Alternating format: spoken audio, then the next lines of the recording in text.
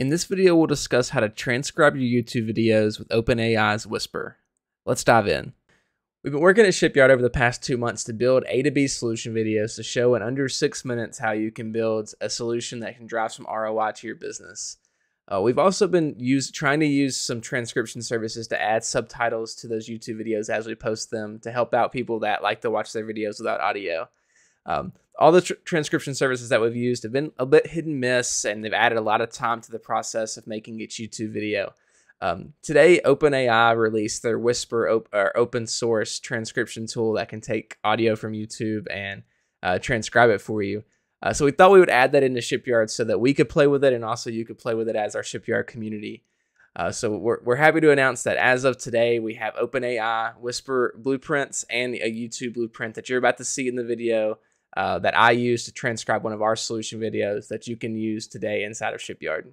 For, we first want to download that audio uh, from our YouTube video. So I'm going to search for YouTube um, and YouTube download video.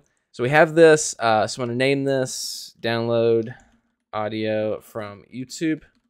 Uh, so I need my, my video ID. So I'm going to go back here to my YouTube studio. Uh, and you can see I already have it highlighted up here. So I'm just going to copy this ID from the URL. Uh, and it's from this sending snowflake data with email uh, video. Um, so I'll, I'll, link this video in the description below so that whenever we're done, whenever you're done watching this video, you can pop over to that video and you can look at those transcriptions in real time as we put them in in this video. Uh, so we go back to Shipyard. I'm going to toss that video ID in there. Um, and we're going to have, um, we just want the audio, the .webm file. We also have video if you want to download the full video, but we'll just keep audio for here. Uh, and file name, we'll just do um, YouTube audio.webm. Okay, so that is our YouTube. That is our YouTube uh, vessel that's going to download that audio. So now we need to go back and add a second vessel. So I'm going to search for my OpenAI uh, to transcribe audio with Whisper. So I'm going to click that, uh, pull it up. So I'm going to name this vessel transcribe YouTube audio.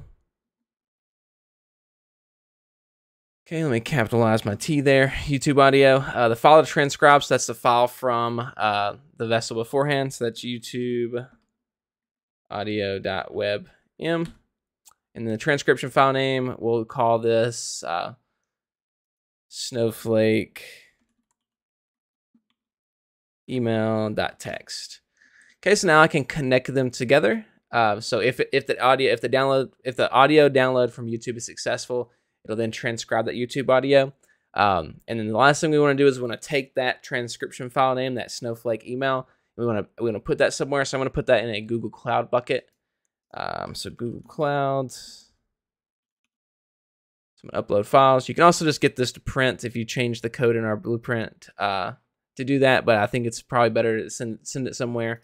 So I'm going to upload YouTube transcriptions.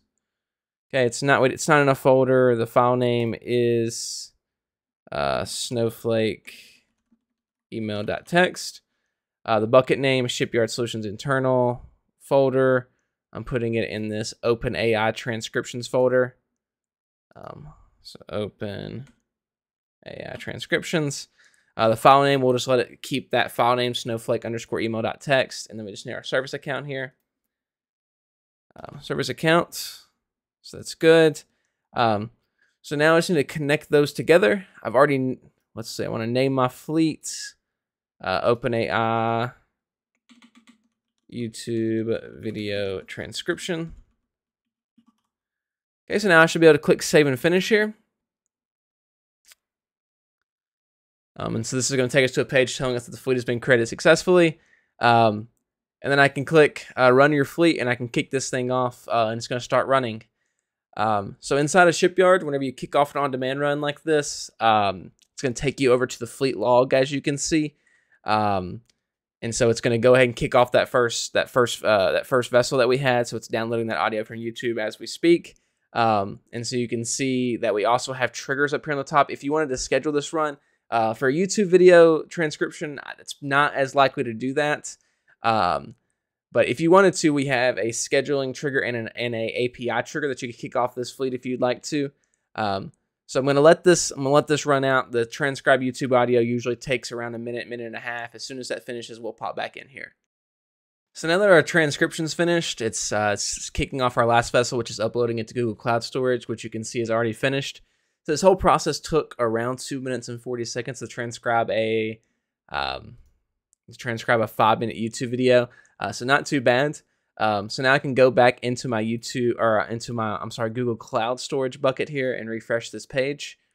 Um, we're gonna be able to see our snowflake underscore email dot text text text file. I can download this, um, and you can see there is the transcription of our YouTube video there, um, just in plain text. Um, so now what we can do is we can take that and take it back into YouTube and add it in, in our trans into our video as a transcription. So let me go to YouTube Studio here. Um, you can see we have subtitles. So I'm going to click that. Um, you can upload a file. So of course, there's there's a ton of ways you can do this, um, but we're going to use auto sync this time. Um, so when I click that, I can go back to this. I can copy this text here, and then I can paste it in. It's a space at the beginning. There we go. So I can paste that in, and then YouTube's gonna automatically match that text that I just put in with the video. Um, so I can go ahead and click done. Um, and it's going to process that for us, and it's going to place the the, uh, the subtitles where it should fit in the video based on its listening.